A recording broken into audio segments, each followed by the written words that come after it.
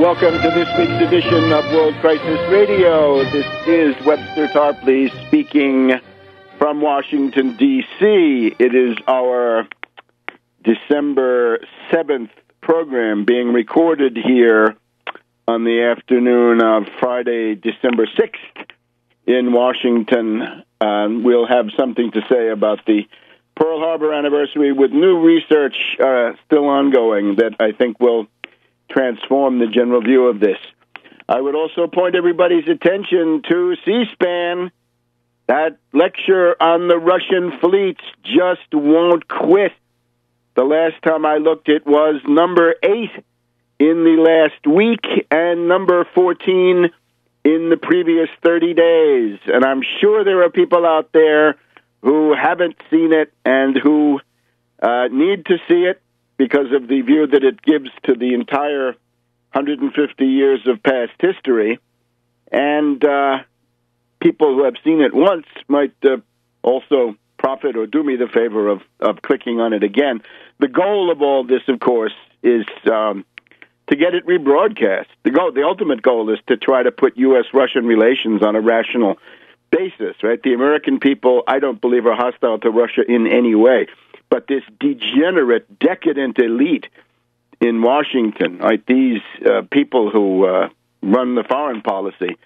Uh, they seem to have this tremendous animus against Putin. They're causing a crisis now in Ukraine over this. As uh, Russian Foreign Minister Lavrov said, there's hysteria in Western Europe about Ukraine. We're trying to cut the hysteria. So getting that broadcast on C-SPAN during Christmas week or something at the end of the year would be a great thing. And they do need Civil War material, so they might as well take that as recycle some tired uh, lectures by uh, various people. And then the other big thing, and this is our first uh, substantive topic Syria the possibility of you to do something positive to help Syria. We have Mother Agnes Mariam of the Melkite Catholic Monastery and Convent of Kara in Syria. And uh, she has been on a very successful North American, that is U.S. Canadian tour. She has also made side trips to Britain, to Poland, and elsewhere and she's going to be in New York. Uh, if you hear this on fr- on Saturday, uh, if you're in the New York area, take a look at the Syrian Solidarity Movement website, and they you will find there a calendar. You've got to look, you got to make an effort to find it, but it's there. A calendar of her events that would be on the uh, Saturday December 7th. Tonight, Friday, December 6th, she's going to be, I think, in Brooklyn, New York. But on Saturday, December 7th, somewhere in the New York area, take a look, see if you can drop in. Might be close to you. And in any case, the uh, principal appointment is in Washington, D.C., at the National Press Club. Thanks once again to the wonderful McClendon Group at the National Press Club. Uh, she's going to be at the press club at 6:30 p.m. if you want to come early for dinner, or 7 p.m. if you just want to hear the lecture. So Tuesday evening, next uh, Tuesday evening, and that will be at either 6:30 or 7 p.m. depending on what you're coming for and that will be Mother Agnes Mariam giving a lecture on Syria. Now, this week I gave a commentary to Press TV about Syria, and it looks um, actually very, very interesting. Uh, first of all, we had this interesting article in the London Independent, which says that General Idris, the military commander of the Free Syrian Army, and up to now a golden boy of the CIA, has now dropped his demand that Assad must leave power as a precondition for the Geneva talks. Looks like the Free Syrian Army is going to be willing to go, uh, and Idris is willing to go. Now, does that mean the CIA told him, or maybe more likely he's breaking from the CIA? That would also be interesting. Whatever, whichever way it is, it's interesting. Um, so Idris now says we don't make a demand that Assad quit as a precondition, but he should leave power at the end of the negotiation process. Well, that, of course, is open ended. That could take many years. That could take forever. So this is essentially dropping the demand. And Idris goes on to say we are considering a united front, making common cause with the Syrian Arab army, the government army, the Assad army, against Nusra and the Islamic Emirates of Sham and Iraq. In other words, the Saudi backed Takfiris, the crazies, the terrorists, the Al Qaeda style people who have been holding, even now, large areas of northern Syria. If the Free Syrian Army switches sides, that will obviously have a military significance, political significance. And what you're seeing now is the uh, relentless progress of the Syrian Arab army with Hezbollah and Iran and Iraq allies towards Aleppo. Maybe the Christmas gift to the world will be the cleansing of Aleppo of terrorists, the kicking of Al Qaeda out of Aleppo for the end of the year. And of course, uh, this uh, the Free Syrian army switching sides. If they if they do that, that would be a big thing. Uh, the other the other problem is, of course, the Western elites have portrayed Al Qaeda. First of all, they were heroes against the Soviets. Then they became villains with the uh, 9/11, and now uh, they're heroes of democracy again. Now, if you want to demonize them again, what do you do? Well, we're getting a lot of attention in um, the London Independent, which is the source of this story about Idris that I just went through, uh, and others, and we see it in the Washington Post of today, that is of uh, of Saturday of Friday the fifth, that um, there are 1,500 Westerners fighting on the side of the terrorists in uh, in Syria, and the uh, nobody knows how many of those are from the U.S. or from Europe, but the idea is that these Western terrorists, many of them recent converts to this Takfiri doctrine, uh, the holier than thou's, that they may want to come back as the original Afghansi did, right, and come back and uh, start terrorism in their home countries. In other apply the terrorist lessons of, uh, in this case, Syria, then Afghanistan, now Syria, to their home countries. And that, of course, means possible terrorism. Now, this is, of course, one of the ways the CIA might say, let's let's switch public opinion back to hating the Al Qaeda people. Let's let's have some kind of a terrorist atrocity. It will be carried out by these Syrian terrorist veterans, and then we can demonize them in public opinion and complete the geopolitical shift.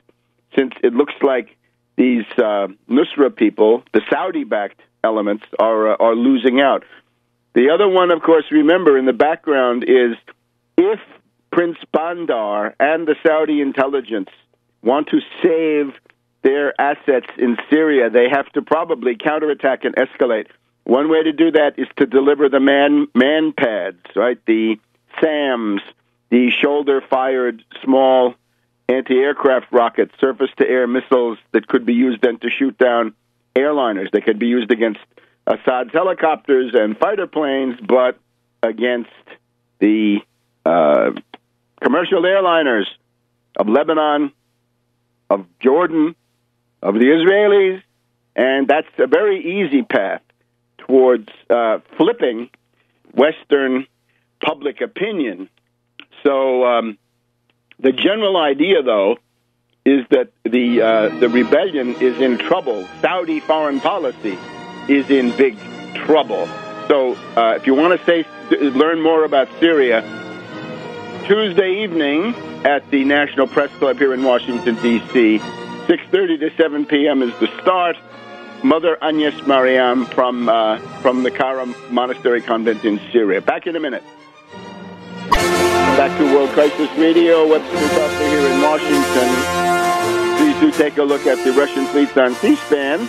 Uh, keep us up in the first uh, one or two pages of most watched, the seven-day list and the 30-day list on uh, the C-SPAN video library. And remember, Mother Agnes Mariam this coming Tuesday, National Press Club, Washington D.C. Talk starts at seven thirty. Uh, dinner before that. Um, so those are the things you need to. I don't want to be too optimistic about Syria now. There is also uh, another. There's a countercurrent of the warmongers, British, French, Israeli, Saudi. The warmonger brigade is still quite active, and they're trying to come up with reasons why it's time to retrieve the non-attack of September and make that into an attack. But they are swimming against the current in the sense that the American people are absolutely sick of war. And any politician who proposes aggressive war under these circumstances will be swept away through impeachment, being voted out of office, tarred and feathered, run out of town on a rail, and God knows what. All right. So um, let's now look at the uh, at the big picture. Getting towards the end of the year, thinking about 2014 and indeed into uh, 20, 2015. And the idea is we have a perspective. We have some idea of what is going to happen. This is not some kind of crystal ball. Uh, it's not a forecast, really. It's just it's a it's a combination of what is likely to happen and what needs to be done in order to deal with that. Let's let's start with a timely uh, starting point. Monsieur Mélenchon. Mélenchon is the head of the French uh, left party, the Parti de Gauche. Uh, and Mélenchon this week said, in the context of a debate about economics and taxation, that France is in the year 1788. Now, this means one year before a huge revolutionary upsurge. In other words, when you say in France it's 1788, it's one year before 1789, and that means uh, the revolution, in effect. I would say a revolutionary mass strike process under our current situation. We have seen the controllers, the intelligence people behind Russell Brand in those articles in the New Statesman, quoting some little London think tank or God knows what, that there's going to be an upsurge once again in Occupy at the end of 2014, uh, 2013, 2014, 2015. We're still in that same time frame. Now, of course, the most detailed and uh, accurate statement of this was done by me in June, and you can see this on tarpley.net. You can look at it. It was my speech to the Left Forum, New York City, Pace University, in the first week of June of this year. So it's five months ago, almost to the day. And I go through this pattern that we've always seen seven years into a world economic depression from 1929 to 1936. And what do you find in 1936? Huge mass strike wave in Spain, in France, and the United States. The big sit down strikes that gave birth to the United Auto Workers, the United Steel Workers of America, and other unions across upstate New York and many, many other areas. The uh, all kinds of workers, the union movement going from nothing to a real power within a couple of years seven years into the Depression. Well, guess what? 2008, the World Depression started. It's now 2013. It will soon be 2014. That means 2015 is seven years into the World Depression. And here we are. We're seeing the mass strike process at work in 2013. We've seen it in Egypt. We've seen it in Turkey. We've seen it in Brazil. In Brazil, they seem to have made some intelligent uh, demands. Only in the U.S., of course, do we have uh, people who occupy public squares with no demands except that they be allowed to stay there.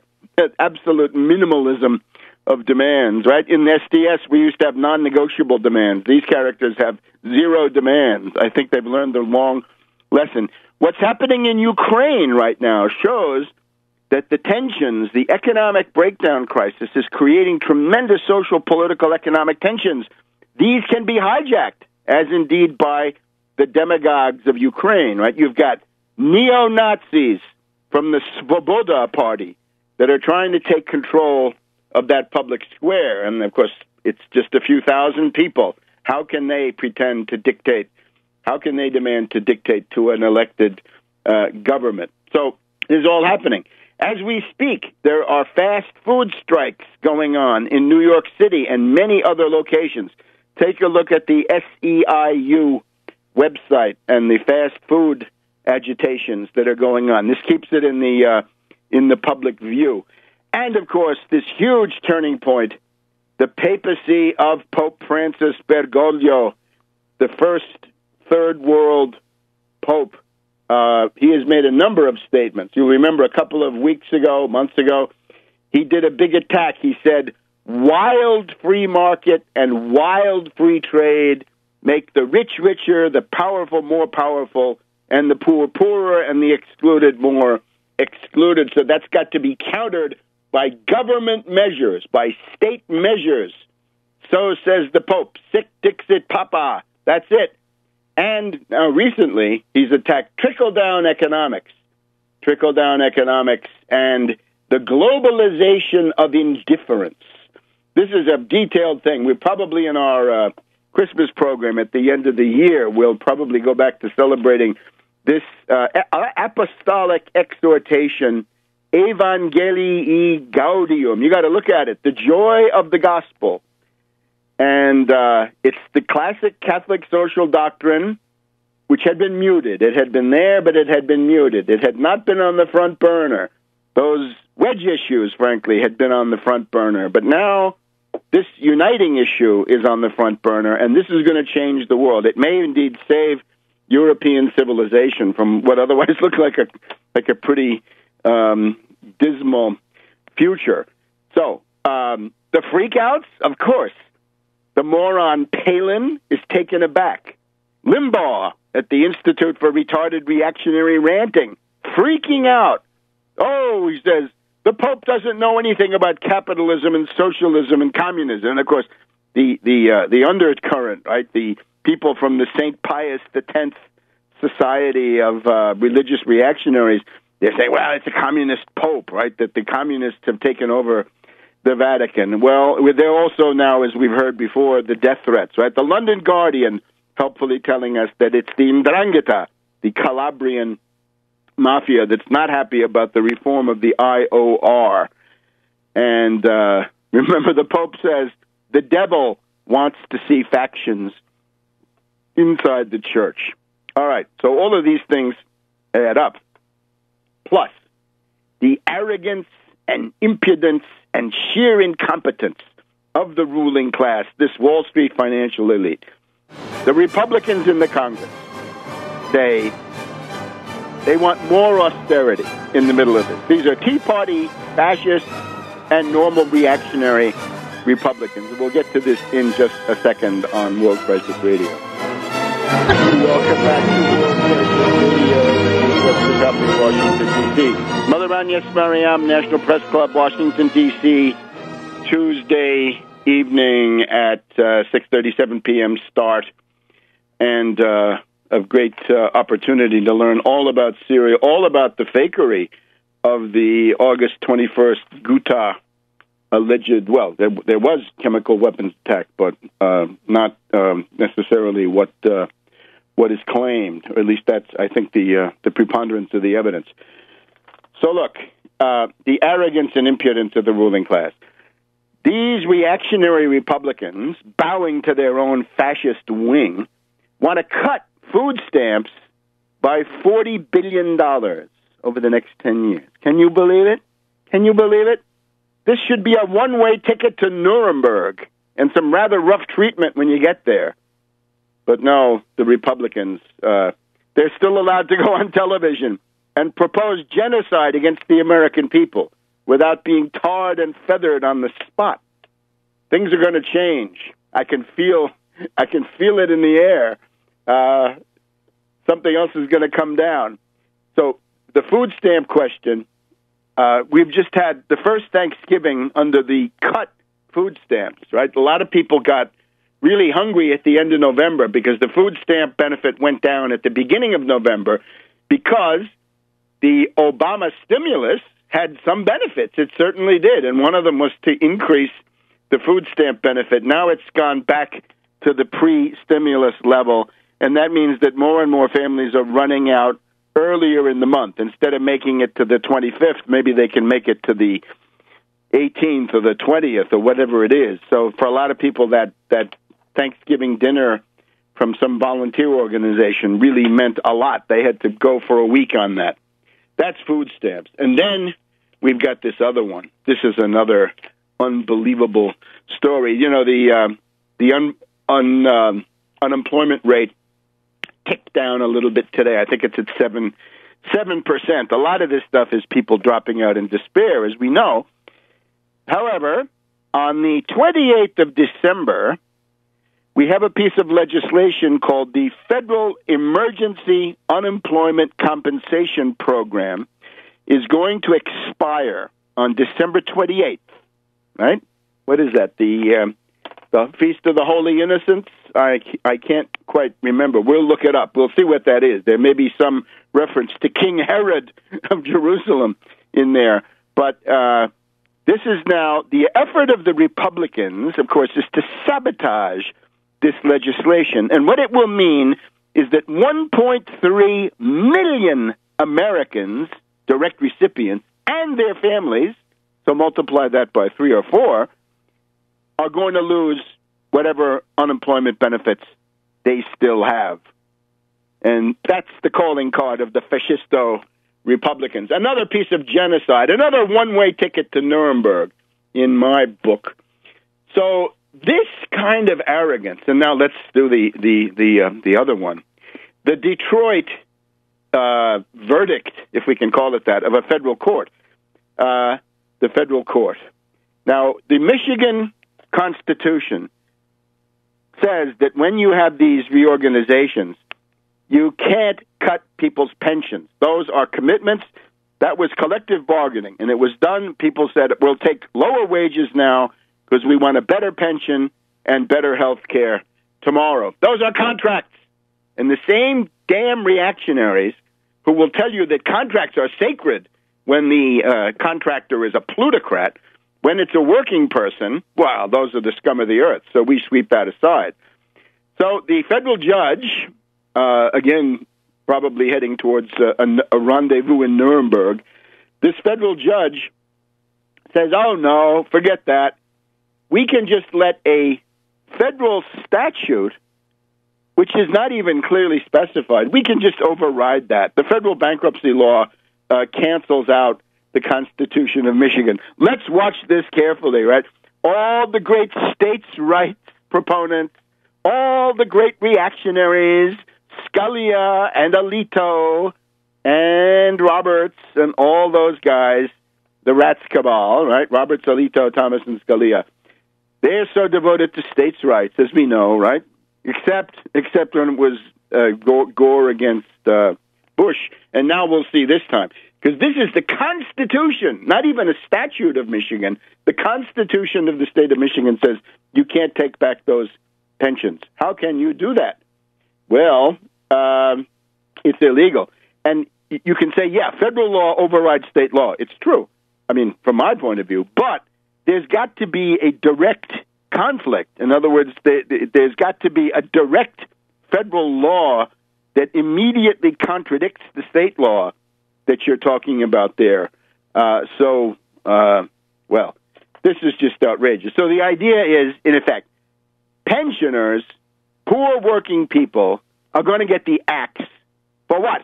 For Goldman Sachs to pay the rotten, bankrupt kited derivatives that the foolish administration, certainly the uh, incompetent leaders of the city of Detroit, have gotten themselves into. Those derivatives should have been banned. They should have been outlawed. Credit default swaps, collateralized debt obligations, CDOs, super CDOs, energy derivatives, all the rest of that. Those should be illegal. And the remaining ones should be taxed at 1% with the Wall Street sales tax. That would uh, essentially have uh, given them a couple of layers of protection because a lot of these deals can't be done if the Wall Street sales tax is in place. But now we're seriously, we got a federal court that says that yes, you can go ahead and loot people's pensions in order to pay Wall Street. Somehow, the question always arises will the American people lie down and lick the boots of Wall Street? Will they simply play dead? Will they not respond? I don't know, but I'm hoping and I'm betting and I'm trying to promote the idea that a mass upsurge against this is uh, is in order. Remember, with Occupy Wall Street alone, with a single demand of a 1% Wall Street sales tax, tax Wall Street, not Occupy, tax. Hit them where it hurts. Hit them in the Labanza. Make them pay. With the 1% Wall Street sales tax, you could have rammed that through Congress in the second half of 2011. And the whole situation now would look much different because you, you could break the power of Wall Street with a mass traction economic demand that simply says no cuts, no austerity, no more firings, no more layoffs. Wall Street sales tax, Wall Street will pay for it. So I think these sorts of things, the Republican cuts of food stamps, with the, with the Democrats offering cuts but smaller cuts, and the uh, extended unemployment, uh, these things are going to add up to a huge um, social explosion. Now, we have to look ahead here.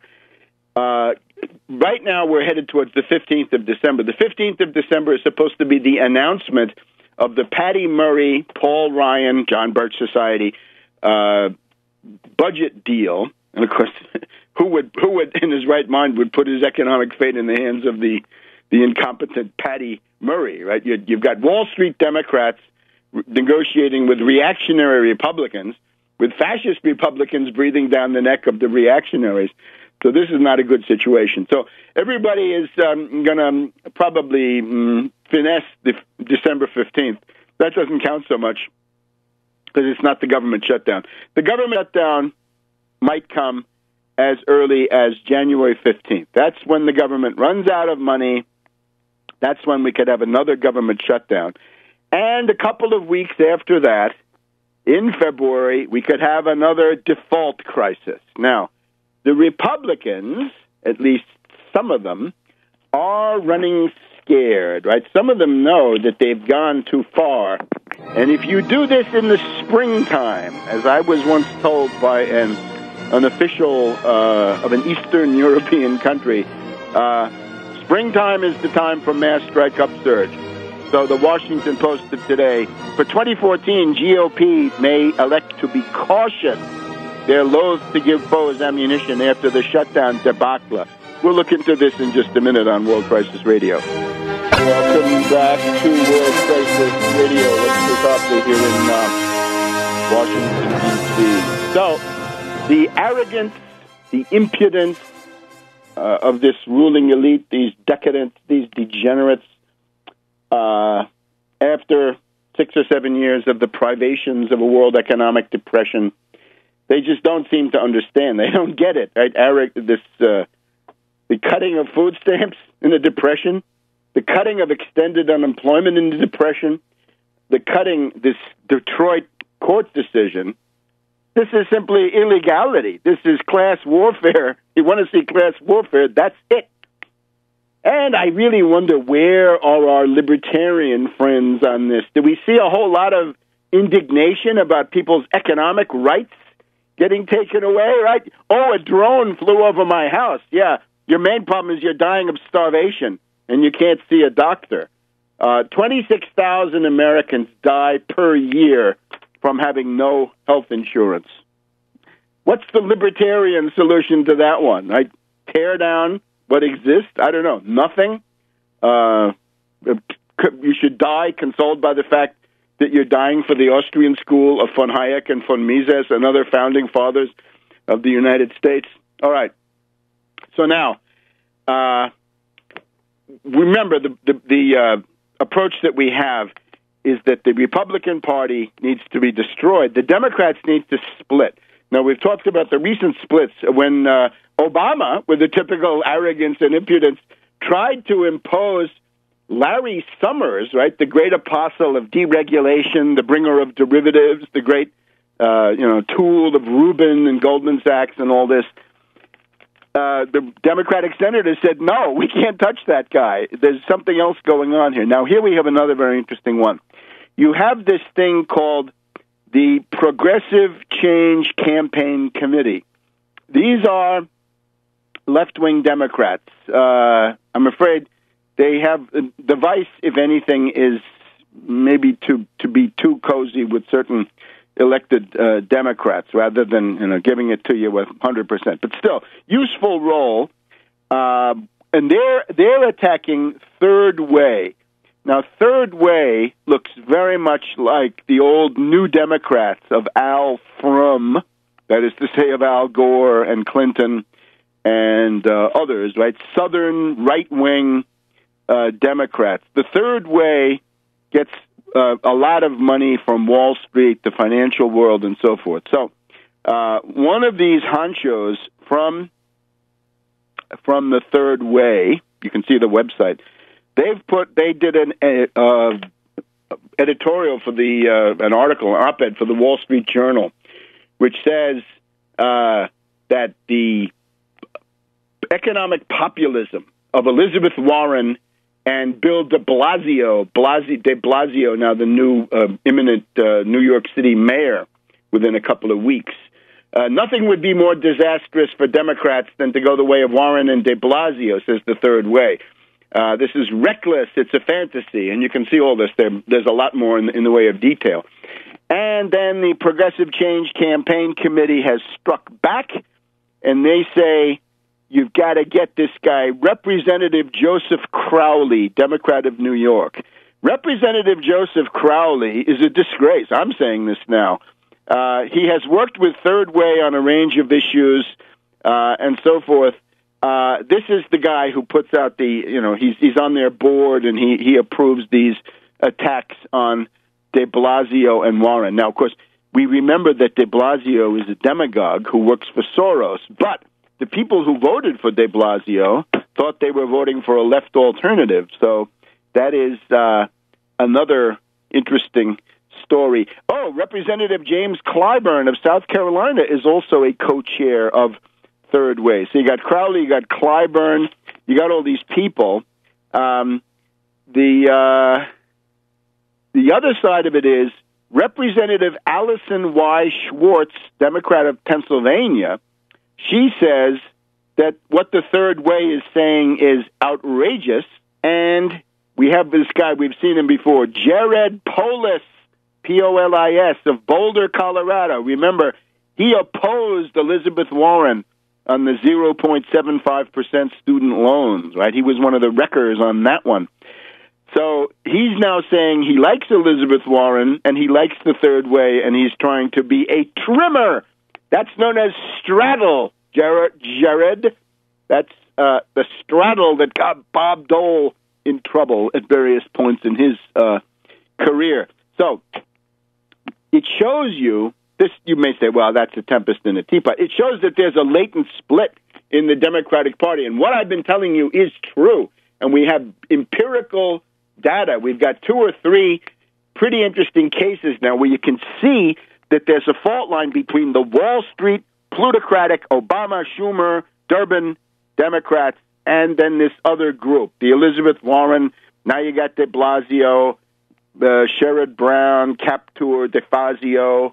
Let's put Allyson Schwartz in there, uh, and so forth. And a lot of it is coming to the surface about this idea of Hillary for president. I'm sorry, Hillary Clinton, complacent, wealthy, you saw that wedding uh, palling around with the worst Wall Street predators and plutocrats. Uh, this is unacceptable. And people notice that when Hillary comes out for her events, she says nothing. This is so bland. She's cautious. She's become more cautious. And people are now looking back from the sort of Washington insider point of view. They're all saying, well, uh, Mrs. Clinton or Madame Clinton as uh, Secretary of State was pointless. She did nothing. Well, of course, what she did was she was the face under which the Arab Spring and the attempted destabilization of Iran and all kinds of other things were were uh, organized. But you get the idea. In terms of initiatives, right? You compare her to Kerry in terms of energy and you know, going around. She went a million miles and she did absolutely nothing. That reminds me of what old Zbigniew said. Uh, that right, she had been in 120 countries, and he said that's nothing. My travel agent has been in 160 countries and is still not qualified for the presidency. Of course, Zbigniew was saying that in the service of Barkey, so sorry. Um, to destroy the Republican Party, uh, Harry Reid, I think, is trying to goad them using the nuclear option to make them fight. If they can't fight, if these senators, Republican senators, can't fight on the appointees, they may say, "Well, then let's let's go to the mat on the budget and shut down the government or something like this." The sure path to Republican destruction. Uh, the Republicans say, "Oh no, we're going to go for oversight." In other words, carping and nitpicking. Their problems are growing, right? The, every time the Obamacare website gets better, these demagogues lose uh, an argument. So I say a two point program, let's make it simple. The Wall Street sales tax, 1%. Save Detroit. Save the social safety net. Roll back austerity. One of the other interesting things we have here in the Washington uh, Post is the idea this is in the uh, December 1st issue more liberal populist effort emerging in Democratic Party ahead of 2016. Democratic Party feeling heat from a revived left. And one of the things they correctly point to is that Obama has been yapping for years that he's happy to cut Social Security with the chained CPI. And that is unacceptable. And uh, this is just uh, it's it's wrong. It's it's economically terrible, right? And they don't like the idea of the disciples of Robert Rubin, people like uh, Lawrence uh, Summers and so forth, uh, having such a big role in it. And this is serious enough so that Podesta, right, the Clintonista, he runs the Center for American Progress, which is the Clinton uh, think tank, the Clinton shadow cabinet, if you will. They have created a left wing tentacle called Let's see if we have it in here. Uh, Center, no, I'm sorry. Center for Equitable Growth. So that's a left wing sham, bogus fake to try to keep you in the Clinton orbit, but with the sort of a tolerated left wing Clintonism. I'm sorry. It's time to fight on program, and we have the program. So we'll be back in a minute. Welcome back to Crisis Radio, Coffee in Washington, D.C., reminding you Mother Agnes Mariam, the heroine, the Joan of Arc of Syria in our time, except she does it for peace, not for military measures or conflict or war. At the National Press Club, Washington D.C., Tuesday evening next at uh, six thirty to seven, and um, please do everything you can to make that a success. Now, just um, couple of more things about the split in the Democratic Party. Uh, we've been following Warren. Right? We don't like her foreign policy. Let's put let's bracket that for the moment. But the 0.75 percent uh, student loan uh, policy, paid for by the Federal Reserve, with that money wrenched out of the hands of helicopter Ben Bernanke or this Yellen. If we don't have Tarpley for Fed head, it's going to be Yellen. I recommend Tarpley for Fed head once again. Not too late, right? She hasn't been uh, been confirmed yet, although it's imminent, maybe imminent, probably before Christmas. If we don't get Tarpley for Fed head, it's going to be Yellen. Uh, 0.75% through the discount window. If a bank can borrow, then so can a uh, a student. Good. That's good. The beginnings of a good policy, let's say, not the end, but the beginning. So uh, she's got now a from uh, Elizabeth Warren, we have the proposal to increase Social Security benefits. Yes, we have been in favor of this for quite a while. We've said it because the 401k system and the IRA system was destroyed by the 2008 crash arranged by the Wall Street predators, finance oligarchs, speculators, bloodsuckers, lampreys, ticks, eels, and others, jackals, vultures that means that Social Security will now have to actually be a pension that you can live on with some kind of human dignity. The only problem with Elizabeth Warren, of course, is she doesn't say who should pay. And this opens the door then to a fight. Oh, the young people are going to be clipped, but the oldies, forget all that. Override all of that divide and conquer stuff. Make Wall Street pay. An integral part of the Warren proposal on the uh, increase of Social Security benefits, which is laudable. It opens this debate. I might not be saying this in quite the current form without that proposal, but it's got to be paid for by the Wall Street sales tax. She's also in favor of cracking down on banks and so forth. She might run for president. It would only be a good thing to pull the entire political situation in the direction of anti bank, anti Wall Street measures, at the very least. We've also got Bernie Sanders up in Vermont.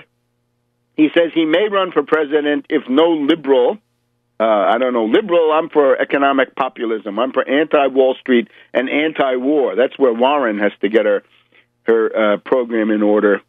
Uh, so these are the things that are now uh, going on. The other thing, of course, is the stuff about the, the minimum wage. Now, Obama has climbed on this train since it was already leaving the station. I think I mentioned before, way back in uh, Tuesday, November 26th, the Washington Post had this thing about low wage workers, and they profile John Stewart, who uh, gets up at 1:30 a.m. to make a shift at the Philadelphia airport that starts at four. He's got to take two buses. He's 55 years old, clip-on tie, white cotton shirt with a frayed collar, a pair of black sneakers from thirteen dollars, and uh, he has a candy bar for lunch. He suffers from psoriasis, which is increased by financial stress. Well, I'm sorry. We need a real minimum wage with some teeth. The other interesting thing about the minimum wage, as I've always said, if you think immigration is a problem, and it can be under certain circumstances, the way you obviate that problem is to put a floor under everybody. In other words, if you think some immigrant is going to undercut you in the labor market, fine. Obviate it. Get that out of the way. Take it off the table with a minimum wage so that you'll be actually competing at the same economic level if you need to, and you can let your, presumably, if you think you have better skills, then you'll prevail. Okay. Now, uh, the uh, Washington Post also helps us with a very useful map. Municipalities sick of waiting on the reactionary Republicans and their fascisto wing. This is now the Friday, November 29th, right after Thanksgiving. Localities lead push to increase minimum wage. Efforts in Congress have stalled. Democrats see a chance to court the working class. That's a good posture. Fight them. Uh, some for some of these people in the House and even the Senate, it's real. With Obama, we have to see, we have to assume it's counterinsurgency. When the Pope starts criticizing trickle down economics, you know the gulf between rich and poor has become too much to ignore, says a Democratic consultant uh, mentioned here. The leading edge is SeaTac Airport in Washington State. $15 minimum wage starting in January. There's a vote, vote there's a vote recount, but it looks like they've won uh, some other places. In New Jersey, at the same point that the Garden State Goering was uh, reelected, his uh, minimum wage policy, his veto of an increase, was overridden by the voters. New Jersey goes to $8.25. Here in the enlightened state of Maryland, Montgomery and Prince George's counties are going to 1150 by October 1st, 2017. That's through a series of steps uh, over time. Okay? And the District of Columbia has just gone to, I believe, 1150 in the past couple of days. Um, and this is to the good, right? Don't listen to these idiotic, you know, Austrian reactionary fascisto um, arguments about, oh, that's going to cut. Here, I'll give you a summary. Uh, George Mason, here, George Mason University School of Public Policy. Guess who pays for that? Koch. The Koch brothers pay. So here we have Stephen Fuller, paid ideologue, economist, Center for Regional Analysis, George Mason University School of Public Policy. The raise will have an effect in terms of lost jobs, lost income, higher wages, lost sales to adjacent areas. Baloney. Baloney. We're going to reform the entire society. In other words, we're simply going to fundamentally um, restore the distribution patterns that prevailed at a more successful time in the New Deal. We're going to roll back the maldistribution, the misalignment of incomes, which emerged during that long reactionary nightmare known as the Southern Strategy, much lamented and now gone, 1968 to 2008. That was the nightmare. That was the long, dark tunnel of the soul.